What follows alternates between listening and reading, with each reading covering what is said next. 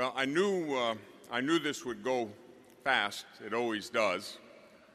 Uh, so we come to the fourth and final presentation uh, in this series, uh, Lord and Giver of Life, on the person and power of the Holy Spirit. Let me begin by reading to you 2 Timothy. I thank God, whom I serve, with a clear conscience, as did my fathers, when I remember you constantly in my prayers. As I remember your tears, I long night and day to see you, that I may be filled with joy. I am reminded of your sincere faith, a faith that dwelt first in your grandmother, Lois, and your mother, Eunice and now I am sure dwells in you. Hence, I remind you to rekindle the gift of God that is within you through the laying on of my hands. For God did not give us a spirit of timidity or cowardice, but rather a spirit of power and love and self control. So St. Paul said to Timothy, and so God says to you. The moment of your baptism, you receive the Holy Spirit. Rekindle in yourself this gift of the fire of the Holy Spirit. Uh, I told you before that the remedy for all the world's problems and troubles is the Holy Spirit. He's the gift who contains all gifts. Without the Holy Spirit, we can do nothing. Jesus said, I am the vine, you are the branches. Without me, you can do nothing. And that is surely true. It's the Holy Spirit who forms us into Jesus Christ. He's like a divine artist, a sculptor, for instance. You know, sculptor can work in clay, right? Clay's soft, right? Malleable. Uh, sculptor can work with marble. That's uh, kind of hard, cold. Nonetheless, the artist can bring something beautiful out of that cold, hard marble.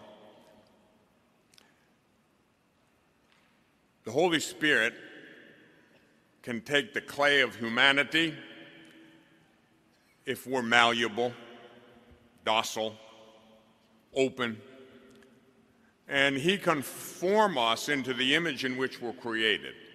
Now, we know we're created in the image of God.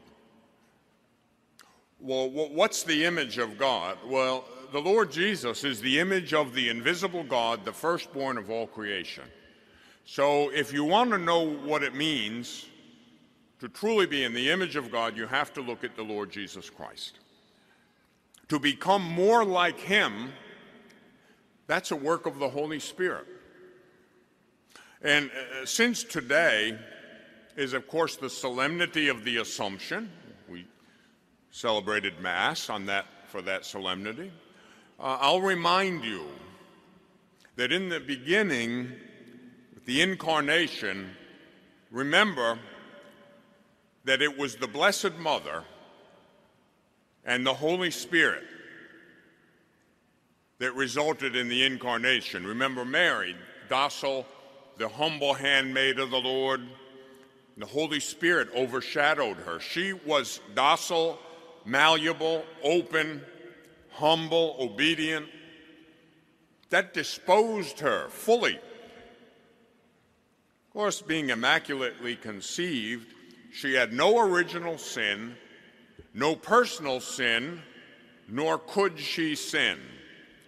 Now, that's a theologically correct statement. Uh, sometimes people will disagree with the last one because they don't fully understand the theology. But it's a true statement. No original sin, no personal sin, nor could she sin. Now, the pseudo theologian may say, well, then she wasn't free. No, not true. I could ask you a question Do the blessed in heaven have free will? Yes. Can the blessed in heaven sin? No. That's a contradiction, you might say. No, it's not. That's a paradox. And, and that's the subject of several university level courses that one could take at a good Catholic university. Those in heaven, the blessed in heaven, are confirmed in grace. Can they sin? No. No. Or do they have free will? They have absolutely free will. Their free will has been totally liberated, and they're totally absorbed in God. Blessed Mother had no original sin, no personal sin, nor could she sin.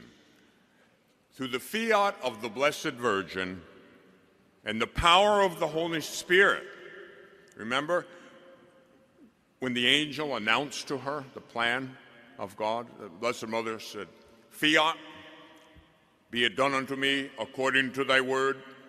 And the word became flesh and dwelt among us. Blessed Mother, Holy Spirit, Jesus. That's how Jesus came to us. That's how we can go to Jesus through Jesus in the power of the Holy Spirit to our Heavenly Father. That's a divine economia, the Greek word, the economy of salvation. I'll give you a hint, a tip. Not that I know everything, but as the result of my life, uh, my studies, my ministry, almost 20 years of priesthood, five university degrees, teaching, preaching, all that time. Uh, I'll, I'll, tell you what, what, what the saints knew. It's not a secret, but sometimes you'd think it was today. Go to your mother. She'll bring you to her divine spouse, the Holy Spirit. And Jesus will be formed more perfectly within you. You'll be empowered to live the life of Christ. Mary and the Holy Spirit equals Jesus. Another principle. All the difficulties we struggle with today, suffer from today, um, you, know, the political difficulties, and even the politics in the church, which, which for those of us who've endured it, lived through it, uh, had uh, you know an intimate view of it at times. Uh, it can be uh, more disturbing and uglier than the politics and the secular order, I'm afraid. Um, there's an old saying no one does evil like those who do it in the name of God. Uh, it, it can be a distressing thing. The remedy, the Holy Spirit. Stay close to the Blessed Mother, be open to the Holy Spirit, and you'll grow more and more into the presence of, of Jesus Christ. Uh, you look at the po- political situation and you kind of marvel at it. Uh, you look at some of the things, you know, and I don't mean to criticize, um, but I can't help it. you know, Congress sometimes, and I don't mean, uh, you know, this administration, that all of them. Some are better than others, admittedly, but, but they all have their problems, you know. John, John, John F. Kennedy, President Kennedy, once said to an assembled group of scholars at the White House, I think this is the most extraordinary collection of talent and, and I could say this to Congress. I think this is the most extraordinary collection of talent, of human knowledge that has ever been gathered at the White House, with the possible exception of when Thomas Jefferson dined alone.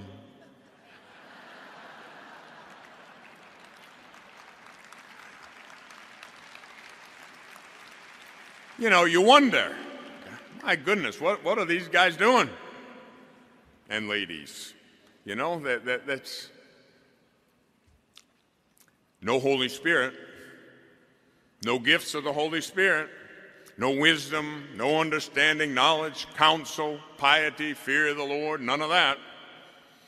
There's a singular absence of wisdom frequently in leadership. And, and you know, part of this has been uh, facilitated by a contemporary curse. And we've got it inside the church in places as well as in the secular order and it's called political correctness. That's a curse. Political correctness. Don't be weak in the knees and soft in the spine. It's too late in the game. You know, you and I are too old. We, have been through too much. Well, we're going to sell Christ for 30 pieces of silver at this point? Nah, don't do that. Be strong. You know, ha- have your convictions. Look, I admit that, that I'm, uh, I'm a little bit on the, uh, on the odd side. As a matter of fact, frequently, almost daily, I kind of wonder how on earth did I end up a priest? Now, you know, I mean, really, you, do, you don't know me. You think you do, but you don't really. You know, I wonder how on earth I have a strange skill set now, some of it is, you know, the normal uh, gift of a preacher, or, you know, I acknowledge the gift of God. I'm thankful for it. And, and, but, you know, some of my, the other stuff, my, some of my experiences in life, uh, I, I, admit, you know, I'm, I'm a little, I'm, I'm quite a bit different. Uh, one time, um, I was preaching someplace, and during the question and answer session, a woman said, uh, Well, I understand that you shoot guns and you're a supporter of the Second Amendment. She said, I'm in favor, which, which is a true statement, by the way. And she said, Well, I'm in favor of gun control. And I said, Me too. She said, You are? And I said, Oh, yes. Number one, stance. Number two, grip. Number three, sight alignment. Number four, sight picture, breathing, trigger pull, follow through, and recovery. That's called gun control.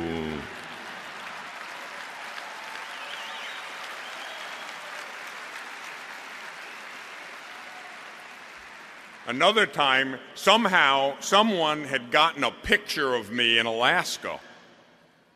I was on a a hunting trip. I, I was on a grizzly bear hunting trip.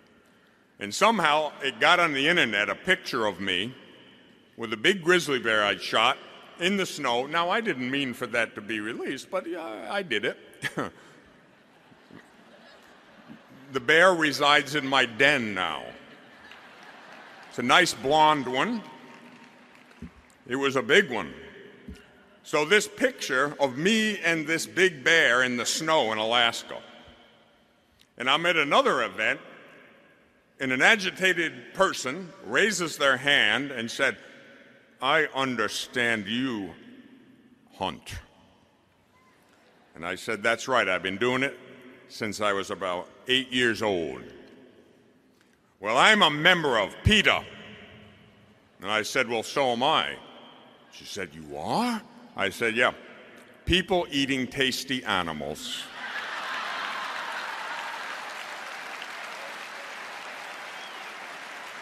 Now, I shouldn't do that, I guess, but I can't help it sometimes. I grew up in upstate New York. That's part of, that was part of our American tradition. You know, we, we, we, we let me tell you something. You know, and, and that's just I, I, it may not directly have anything to do with religion, but it has something to do with common sense. There is a lot of fuzzy thinking today. We have to do our part. And, and by the way, I respect everybody's position and opinion. You know, I love animals. You know, people say, well, that, that how can that be? That's a contradiction. Nope. Uh, you know, I, I nobody loves their dogs more than I love mine. You know, so I, I and I love nature, and I have great respect for God's creation. And I know that seems like a contradiction, but uh, there are people, outdoors people, in this audience right now, and they know exactly what I'm talking about. You know, no one has given more money or done more for nature, you know, for ducks, you know, Ducks Unlimited. Uh, eh, eh, why? Because we're out there. We understand it. We, we feel it. It's part of us. It's part of our heritage. I'm, I'm not here to promote, you know, uh, the outdoor sports, although they, they've helped me a lot throughout the course of my life. But I've noted an interesting thing. Maybe you have too. There seems to be a correlation between, you know, people that seem to be right thinking in certain things seem to be right thinking in a lot of other things. Have you noticed that? Have you noticed that, uh, that, that the so called pro choice element and the pro gay marriage element are fast allies? Have you noticed that the anti Second Amendment people and the anti hunting people, they all seem to gravitate to the same place? And conversely, the pro life people, you know, the outdoors people, the pro Second Amendment people. Interestingly, not always, but frequently, they're on the same side of all those questions. It is not a coincidence. Don't be a fuzzy thinker. Personal opinions, I respect, and it's okay.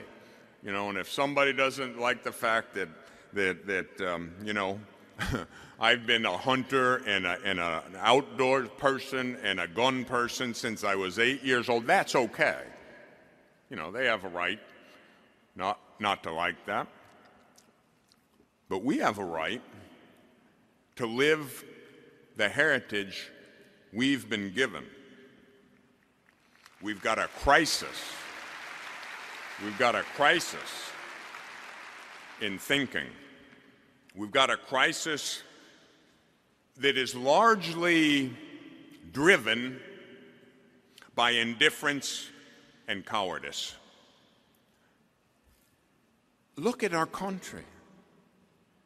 Look at what's happened. Look at the complacency. You know, we're sitting back and the country is unraveling in front of our very eyes, and the majority of people, now thank God an increasing number of people are getting concerned. Nonetheless, a huge number of people are just totally disinterested. You're going to blink your eyes and wake up a slave. And it won't be the first time in history either. The spirit we've been given is no timid spirit the United States of America, Canada, the great countries of Europe, Christianity enabled them to flourish. You know, uh, uh, liberty, the rights of women. You know, that people like to talk, or they like to badmouth the Catholic Church. Oh, the male dominated patriarchal church. Let me tell you, before the Christianity came along, women were chattel, property, like cattle, in many cultures. We don't accept that in Christianity. Absolutely equal in dignity. Male and female, He created them absolutely equal in dignity. He created them, but not the same did he create them. Adam and Eve, male and female, he created them. Adam and Steve, no. And I'll tell you, that is politically incorrect. And there are two things that will get you killed at worst, in trouble at best And that's a strong, charitable, you, you, we have to be loving, but rooted in the truth. Life issues, clarity in thinking on abortion, the so called, you know, gay marriage. You have to think clearly. Now, the Catholic Church contributed to the greatness of nations. And do you know why? Eh, look around now. Look, you look at you. You know what's going on. You're astute people. You, you at least look at the news. Have you seen what's happened to Europe, to Western Europe, to society? Have you seen what socialism has done to most Western European countries? They're dying or dead. They're unraveling. They become, they're going from bad to worse, and we want to follow that. That's immoral.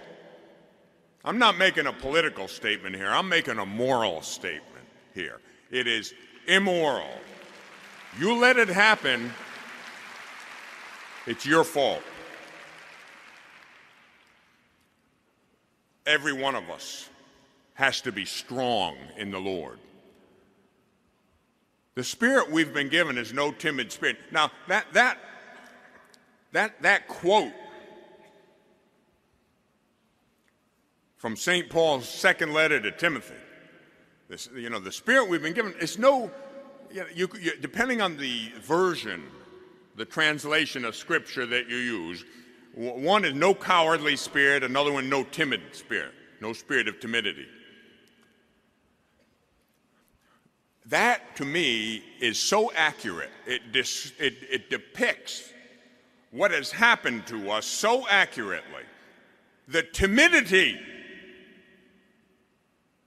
of so many of us in the Catholic Church, frequently the leadership, we don't want to fight. We don't want to rock the boat. We don't want to upset anybody.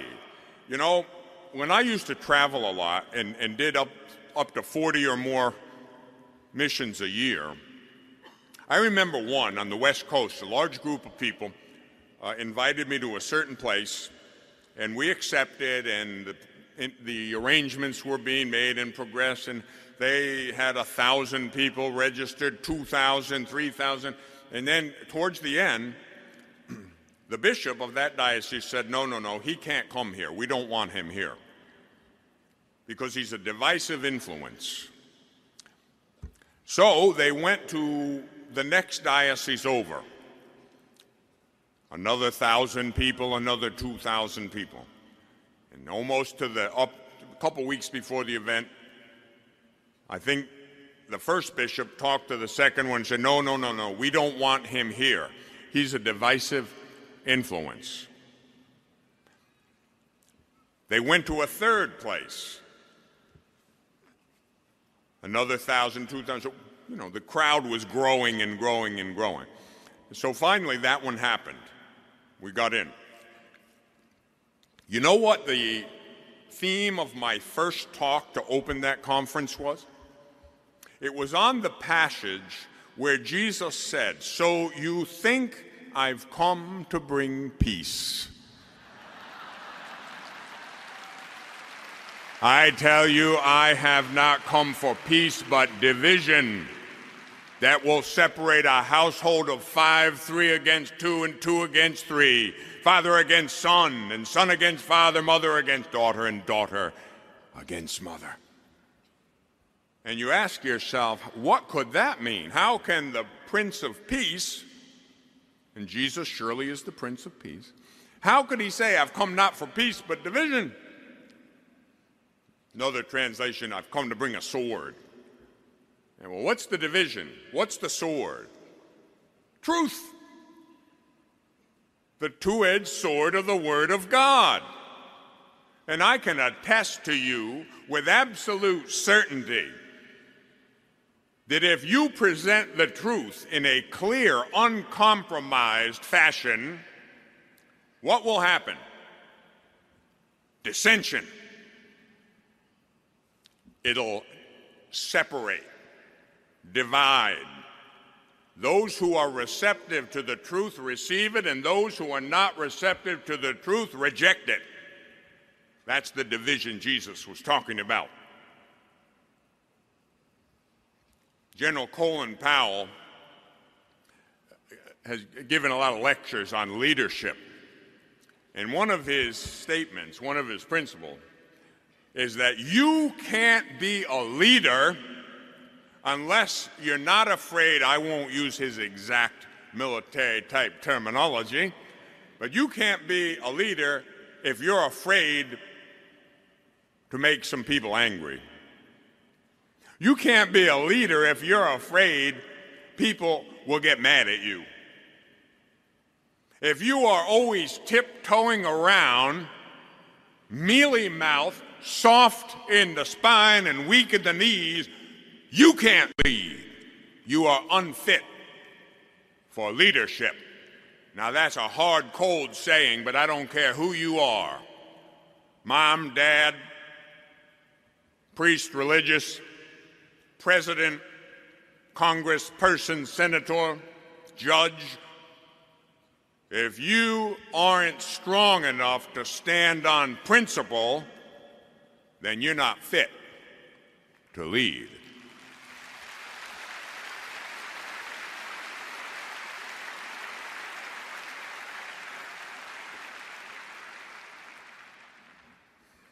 I told you before, I quoted what Jesus said. He said, I, I would that you were hot or cold. Uh, but you're neither hot nor cold, you're lukewarm. Therefore, I'll spit you out of my mouth. The Lord does not like lukewarmness, mediocrity. We are called to excellence. And you, and you can't be happy unless you strive for excellence. And I, I want to call uh, to your consciousness a state of affairs that exists in this country and most of Europe. It has been facilitated, it ha has been enabled by a, a gross kind of liberalism that takes away incentive from the individual human person. The individual should want to strive for excellence. The individual shouldn't be handed everything, shouldn't be reduced to a state where they don't have to strive for excellence. Takes away incentive and destroys society. That isn't the Holy Spirit that animates a situation like that. Remember what Pope Leo XIII said about pure socialism. Now, some socialism, some social programs are necessary. Some form of social security, a basic social aid. But when you cross the line and begin enabling people in a kind of, I don't know, decadence, I guess I could call it, where they feel they don't have to work very hard because they're going to get everything from the government anyway. You know what the government becomes like? I call him the big drug dealer in the sky. You know, the drug dealer gets a new customer and he'll give him a little, a little free taste of his wares to get him hooked. You know, a little heroin, little cocaine, a little meth the government will give you a little money and get you hooked. And pretty soon, your automobiles and your health care and everything else is provided by the government, and you begin to lose incentive to work hard. That debilitates you as a human being. And that isn't the Holy Spirit. That's not a bold spirit. That's a cowardly, timid spirit. One of the worst things you can do to a human being is facilitating them not working, making it easy for them to not work. A man's dignity is stripped from him unless he works, unless he feels that he, he can support his family, strive for excellence. I mean, that, that our country, you know, the immigrants, my, my ancestors, Italian people, Irish people, Polish people, you know, a lot of the ethnic groups that live around Buffalo and in all the rest of this country, too. They came here and, and they wanted to succeed. How they longed that their children and their grandchildren would have something better. And they worked for it. You know, my, my great grandparents, my grandparents, they, they worked in a brickyard. They shoveled coal. My grandfather shoveled coal into a boiler for Niagara Mohawk for years when he started. Long hours, brutally hard work. And they, what the love of their life, the hope of their life is that their children and grandchildren could have something better. And even when they were poor, they had dignity. They had something precious, and that's from the Holy Spirit.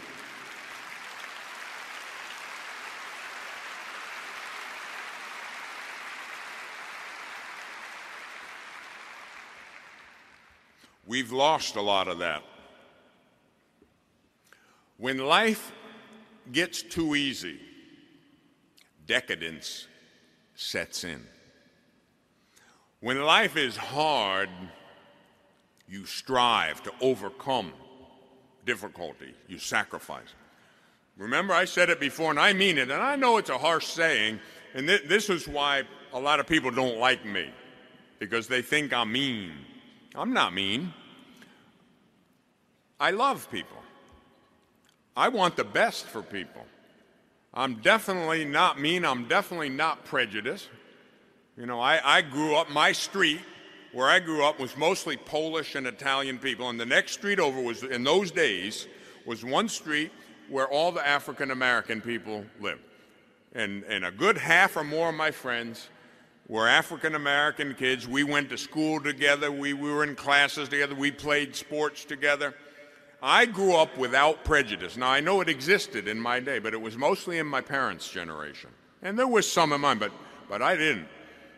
My best friend in the Army was a black man from Alabama. My best friend when I was at the University of Navarre in Spain was an African priest from Kenya who's been in New York now for some time, in southern New York. My best friend. I can say before you and God, I don't have a prejudiced bone in my body. But sometimes I can be misconstrued. You know, they say, "Oh, you're prejudiced because uh, you you don't uh, you don't uh, you're not in favor of welfare and so forth." And so on. I'm in favor of helping people. Don't get me wrong, I am. I believe in helping people. I believe in helping disadvantaged people, people who are injured, uh, have disabilities. I believe in helping people. But I don't believe in stripping people of their human dignity by making it easy for them to not work. That is the kiss of death to a human being. That is not the Holy Spirit. Recall once again the words of Pope Leo XIII. Pure socialism is not the answer to all of society's ills, even if we've gone too far on the side of capitalism. Be careful the pendulum doesn't swing too far. Because, pendul- uh, because socialism won't help the poor. Socialism will reduce everybody to the same lowest common denominator of poverty and misery. Takes away incentive, willingness to strive for excellence. That's not the Holy Spirit. That's the antithesis of the Holy Spirit. That's a weak, timid, cowardly spirit, and it results in human slavery. And I wouldn't impose that or wish that on any of my brothers or sisters. Think straight. Be soft hearted, but don't be soft headed. Be careful. Watch out for fuzzy thinking. And, and don't allow a sick, decadent, fuzzy thinking society to impose its disvalues on you. The spirit we've been given is no timid spirit. Look at the timidity in the last decades in the church. You look at some of the things we've seen and you marvel at it. How could they put up with it? You know, uh, large numbers of theologians, priests, even some bishops, against the church's teaching on life came out and signed statements rejecting formally and in writing Humanae Vitae. I'm going to tell you something. That's where all the trouble began. Pope Paul VI prophetically said that artificial contraception and the general acceptance of it will lead to the proliferation of abortion. It will just become another method of birth control. It was prophetic. It has happened. And all too often, we've been too timid, too cowardly to stand up straight for what we believe. The lack of leadership, artificial contraception, abortion. I, can you believe it? The law of this great land. It's a human, ri- vi- uh, human rights violation that screams out to heaven for a remedy. 50 million and counting, more or less, since Roe versus Wade. There's a passage in the Old Testament that says to, to the, something to the effect Can God bless or give favor to judges who do evil under the pretext of good? Can they be that dumb? They're blind, they're deaf, they're crippled, they're dead. They need a miracle.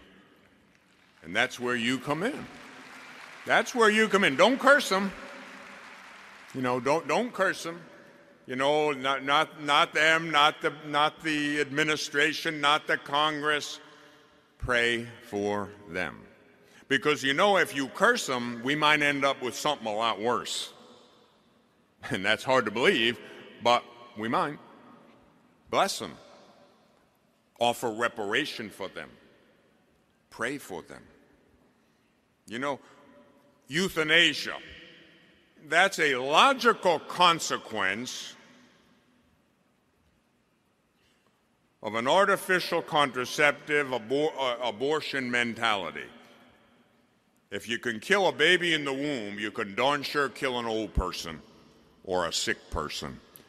And uh, you know, as Pope John Paul II lay dying on the other side of the Atlantic, Terri Schiavo lay dying on this side of the Atlantic.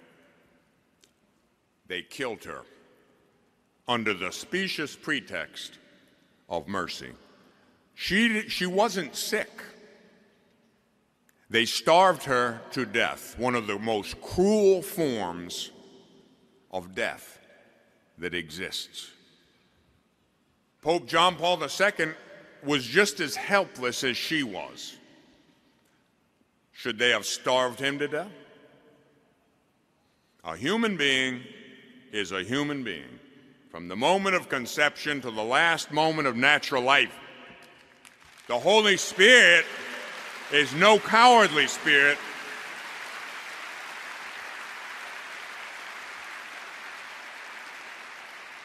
The Holy Spirit is a spirit of power, a bold spirit.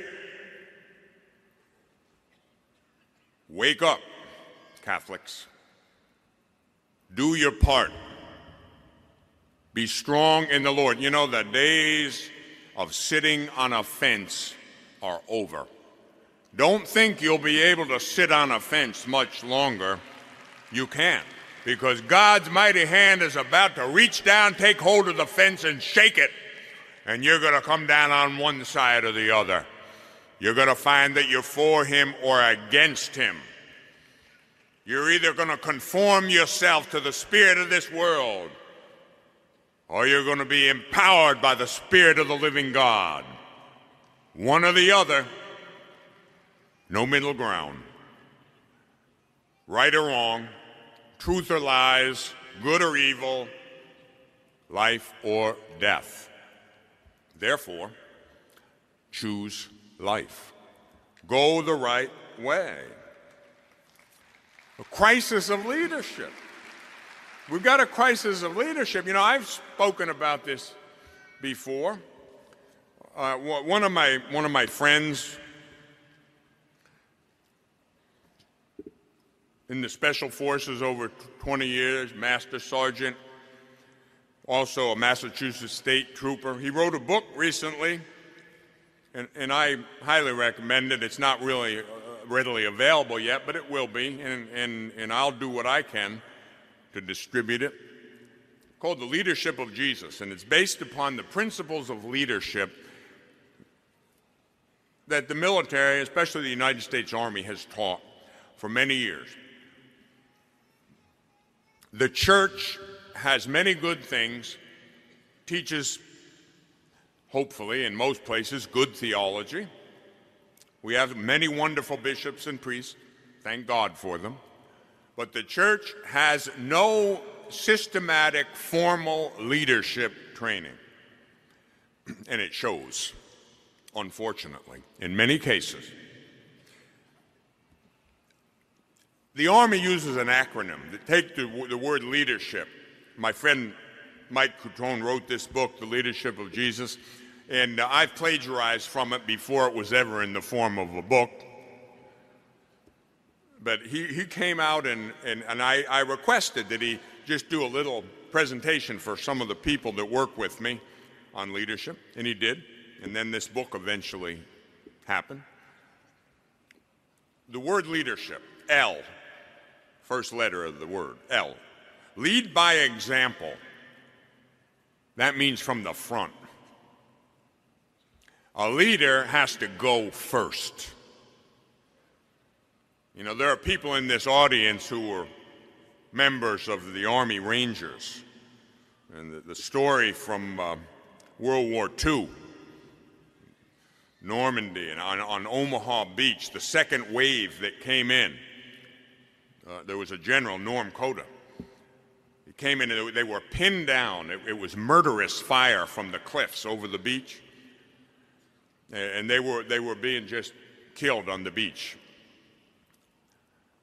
And the general got in there and, and, he, and he said, uh, uh, Which unit is this? In a, in, a, in, a, in a timid lieutenant said, I believe it was 5th Rangers, sir. And the general exploded with power, and I can't repeat what he said, but the substance of it was Rangers lead the way. And they went straight into the teeth of death. And they broke through the enemy forces, and victory ensued. Catholics, lead the way. We are at war.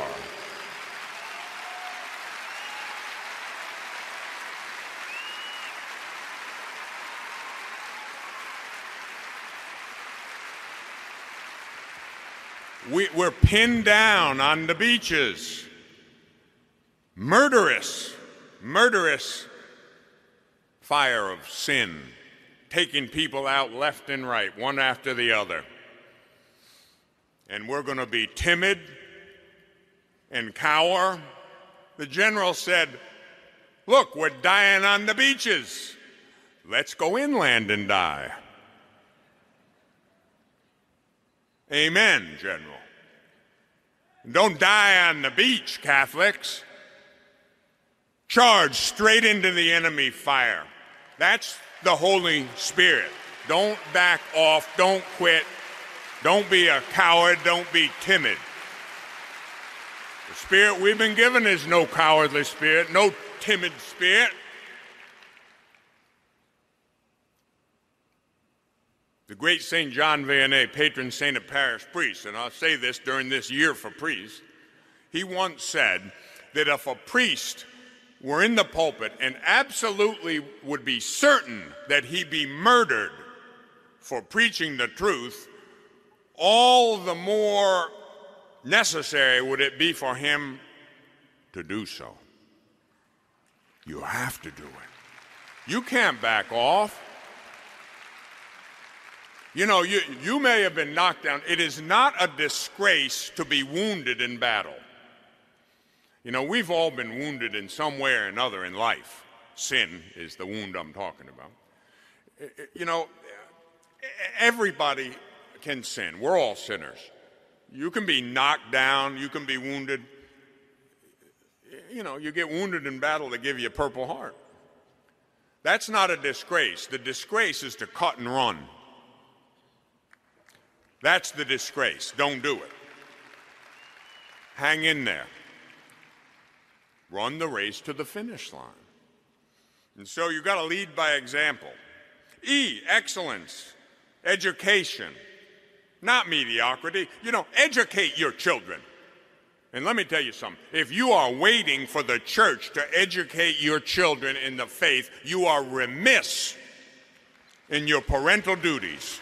You better do it. The church can help you. The parish can help you and should. The CCD program can help you. The Catholic schools can help you. But that's secondary. The primary responsibility for the education of our young people is parents.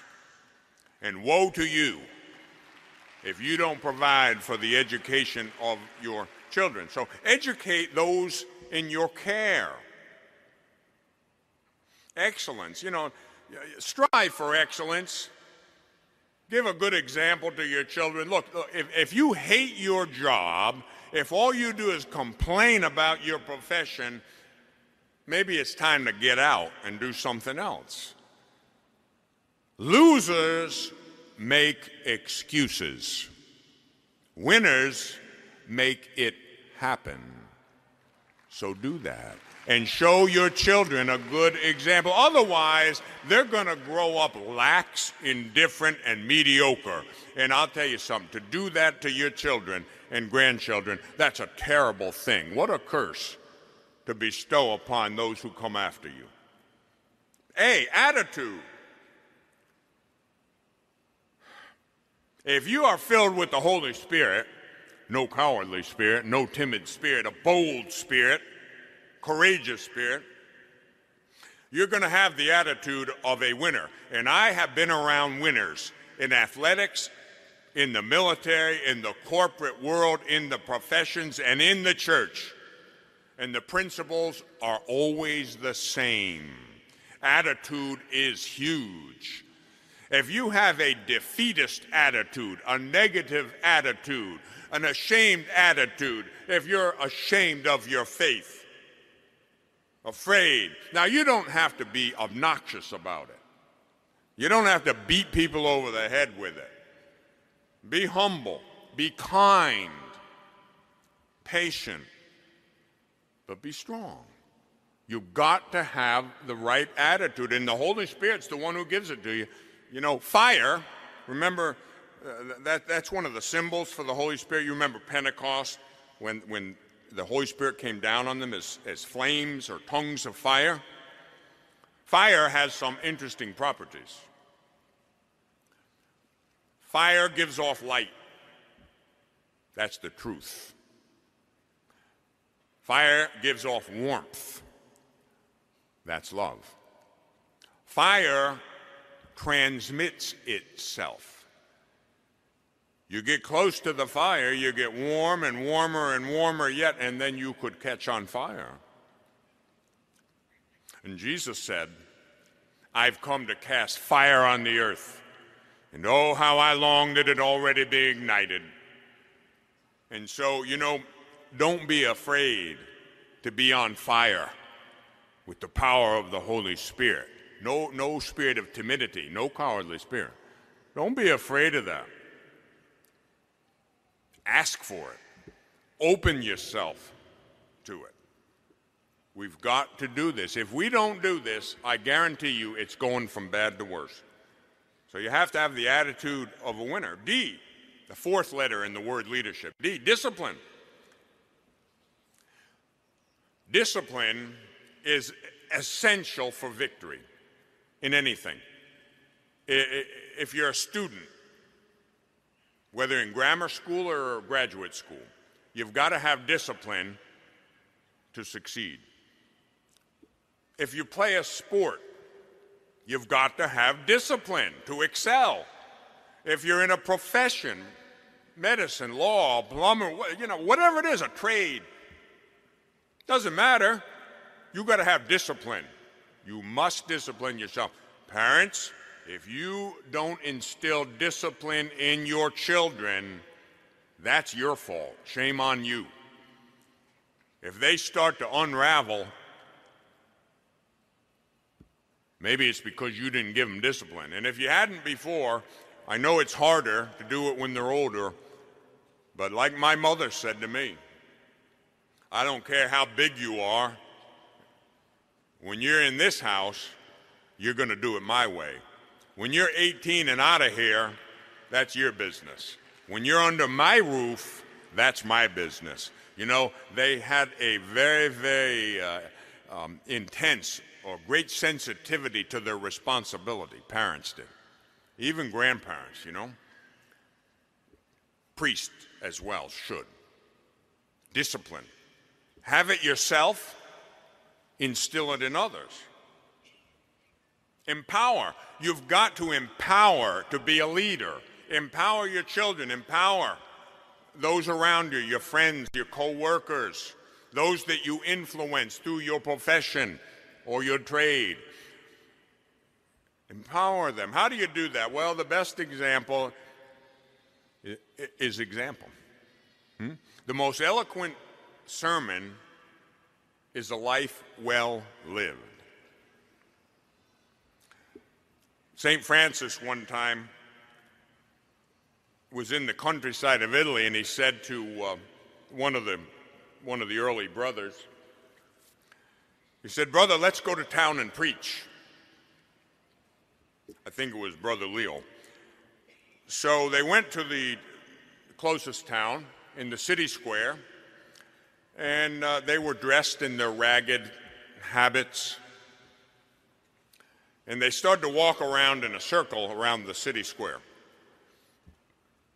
And they did this for a few minutes and then a half hour, and, then, and finally the brother said to St. Francis, but, but, but, Francis, you said we were going to preach.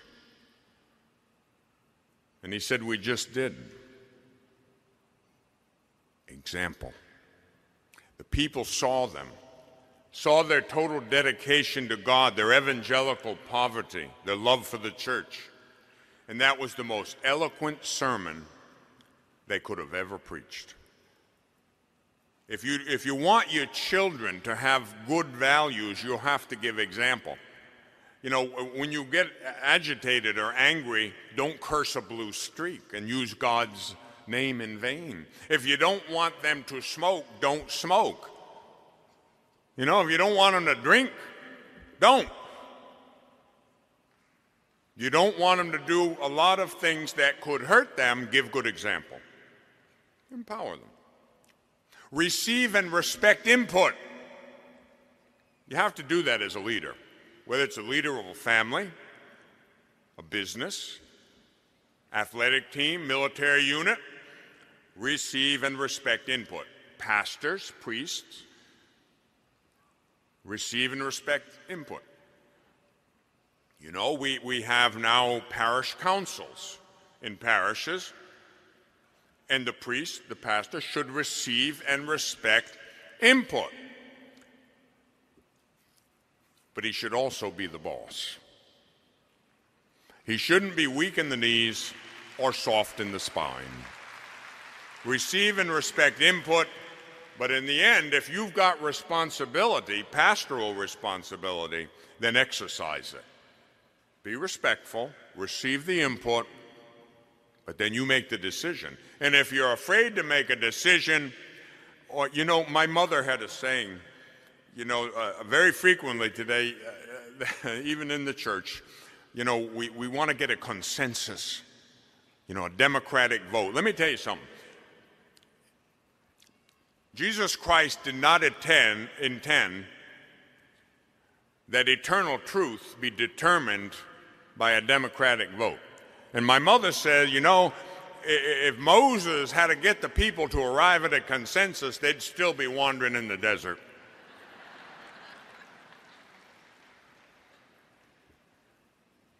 Receive and respect input, but make a decision, by golly, and be strong enough to carry it out. S, sacrifice. Well, we've talked about that, I think, a little bit. You can't be a leader without sacrifice. You know, I, and I told you in talking with the bishop, you know, he told me he's 73 years old. He, he, he has to sit down. Some he's in pain from his, his back. He's got a, a difficult, and yet he has to go from one thing to the next, serving the people. That's sacrifice. That's the cross. And it's not easy. And it's not just us. I know you, you parents and spouses, you know what sacrifice is. Not easy, but it's necessary to be a leader. Humility, we've talked about humility. That's, that's part of that acronym, acronym of leadership. You've got to be humble. If you are not truly humble, uh, you won't be a good leader. So practice humility. Now, by the way, I'll tell you a little story about humility. One time a lady came to me and she said to me, Father, you know, I, I know that humility is very important, and I really am serious about my spiritual life. And I would like, I, am not very humble though sometimes. And I would really, I, I desire to grow in humility. Would you pray for me that I could gain humility? And I said, Certainly. And I did. She, I saw her a week later, and she said, You didn't pray for me. I said, What do you mean? And so I, I said, uh, Let me finish the story. Things started to go badly in your life, right? You started to have all kinds of trials and tribulations. Yes, how did you know? Do you know how you grow in humility? Do you know what the exercise of humility is? Humiliation. and God knows just how to give it to you. So if you want to grow in humility, you better believe you're going to get some trials, some humiliations. You know, they may be physical. You know, one time I was pretty strong and pretty agile and pretty athletic. And, and, and, and now, although I'm, I'm, I'm trying to do better, you know, I sometimes feel like an old car with a lot of mileage and most of it over bad roads. And, and a deacon was, was talking to me before, and he's, he's had a lot of surgeries and he said, I- have got more spare parts than an old wreck. In a way, that's a humiliation. You know, you used to, you and I used to be a lot stronger than we are now. You know, a lot, a lot more agile, athletic, whatever. That, that can, that, those physical trials, they can be a humiliation. You know, I, I can't, I'm, I'm almost deaf. Well, like my grandmother used to say, I'm deaf in one ear and can't hear out the other. You know, I, I have horrible hearing. I don't see as well as I used to. You know, I have to wear glasses if I read fine print, and it's not getting any better. And I got news for you it isn't going to. Emotionally, you know, there was a time when I wasn't afraid of anything. And I notice in recent years, I, am afraid to do a lot of things. I got, I've gotten somewhat timid. Hmm? That's not the Holy Spirit. Maybe it's just the natural aging process, but now I have to consciously overcome it. I refuse to give in to it. Some, I, I lay awake at night, and I'm telling you, some nights I'm scared to death. Almost afraid to get up in the morning, thinking about this, that, or the other thing. You, you wouldn't believe what I've been through in, uh, in the weeks leading up to this conference, and God only knows what I'm going to get in the weeks after it. And, and, and I lay awake at night thinking about it, and I, oh no, now what? What's going to happen to me next? Fear in itself is some, it's an emotion. Everybody gets some of it. You know, we're fearful of, of this, that, or the other thing. Fear of rejection, fear of an illness, fear of dying, fear of the loss of a loved one. I've talked to many soldiers who faced terrible danger, who were in terrible battles. They were scared. But like love, it's a decision. You do it. You just do it. And it's the Holy Spirit that will allow you, enable you, and empower you to do it. Humility. Initiative. Seize the initiative. Carpe diem. Seize the day. Don't wait for somebody else to teach your children the faith. Don't wait for somebody else to feed the poor or house the homeless or visit the sick or those in prison. You do it. I remember once in the seminary, I went to the director of priestly formation and I was worried about what if I get a, a, a, bad bishop or a bad superior in the church? You know, what am I going to do? And he said, Don't worry about them. He gave me a great piece of advice. You do it right. You make sure you're right with God. Don't worry about the other guys. You do it right. You be faithful. I remember another person that I talked to in a similar vein. She was a Carm- discalced Carmelite nun, professed over 60 years. She had been the prioress of her monastery for decades. right before I, I, I was ordained, I, I said, But, Mother, what if I get a bad leader? What if I get a weak leader? Religious superior, bishop, whatever. Well, my son, you must pray for him. But, but mother, what if he doesn't convert? Well, then pray for a speedy demise. An old Carmelite nun.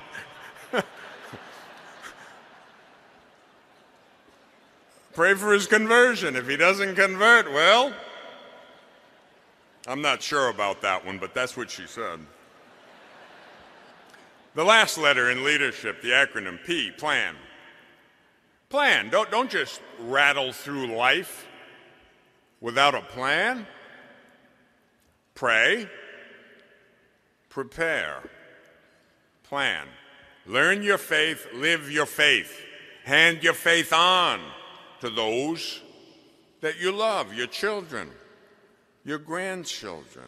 Listen, if the Catholic Church fails to be strong, much longer. And you know, we've had great popes. I'm not talking about that leadership.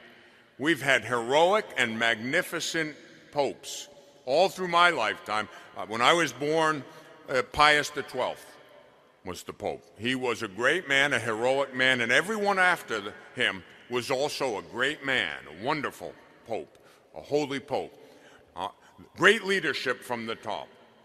And many, we've had many great bishops, and we still do, and many great priests. But there has been what I have, can call a crisis of middle management frequently. We get wonderful teaching from the top, but frequently it doesn't reach the people in the pews. Magnificent encyclicals, one after the next.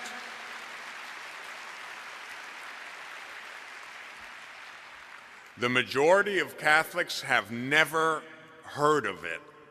They never got the teaching. Well, of course, that's not all the, the, the hierarchy's fault. If 80% of Catholics aren't even going to Mass on Sunday, I guess you, you know, you can expect that. But the, the other 20% of us that go to Mass regularly, we have to get stronger and stronger. You remember the story of Gideon's army in the Old Testament? Very small army defeated a great, a much greater force. We're like Gideon's army, the remnant. And that's, a, that's true. You've heard that before, but it's true. There, there's a truth in that. There is no longer any room for mediocrity. You and I have to do our part, more than our part, because a lot of people aren't going to do their part and we have to make up for them. But we have the Holy Spirit. He is no cowardly spirit, He is no timid spirit. Please be open to the power of the Holy Spirit. Be in a state of grace, first and foremost. Pray. Receive the sacraments in a state of grace. S- study your faith. It's not inconsequential. You know, ignorance of the faith, ignorance of the scriptures, ignorance of our religion is ig- ignorance of Jesus Christ. The first commandment is to love the Lord our God with our whole heart, mind, and soul. If you don't even want to know something about the one you love, do you really love them? Learn your faith. Study the Catechism of the Catholic Church. Read the Bible. Don't wait for somebody else to do it. The Holy Spirit will lead you. He's a good spiritual director, the best. He'll set you on fire. The greatest definition that I ever heard of a preacher, and a, and a great preacher said it, they asked him, Father, what is a great preacher? What does a great preacher do? Well, he said, a great preacher goes in front of the people and sets himself on fire and the people come to watch him burn. And there's something to be said. I, I might alter it a little. You know, the Holy Spirit sets him on fire, and the people come to watch him burn. Same thing for you. And so it's about time to say goodbye. But we've been together for a little while, like the disciples in the upper room. It was good that we are here. Some of you I'll never see again, except maybe in heaven, I hope. And so until then, I ask you, please, please, remember the Holy Spirit. Have a personal relationship with the Holy Spirit. All you have to do is invite Him. You have Him through baptism, confirmation, but invite him into your life. Come, Holy Spirit. You know the prayer I like? Come, Holy Spirit, come by means of the powerful intercession of the Immaculate Heart of Mary, your well beloved spouse. My brothers and sisters, this spirit of courage, this bold spirit, the spirit of God, the spirit of truth, will change your life, will empower you, You'll run the race to the finish line. You'll fight the good fight. He'll conform you into the image of Jesus. And then you and I, very soon, are going to stand before God. He'll smile at you. And I promise you, you'll hear these beautiful words Well done. Well done my good and faithful servant, enter now at last into the joy of your master's house. God bless you, God love you, and goodbye.